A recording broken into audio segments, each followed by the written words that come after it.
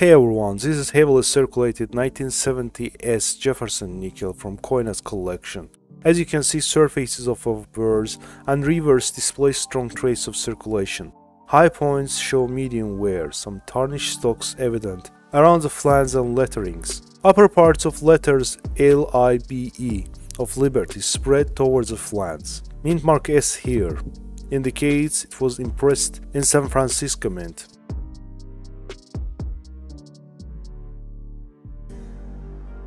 Reverse side displays strong die fatigue, that's very weak strike, especially on Monticello.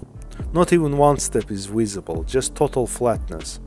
This coin is worth less than a dollar. The 1970s issue mostly comes with not that strong strike, so even at mint State 66 they make up to $6,000 at auctions.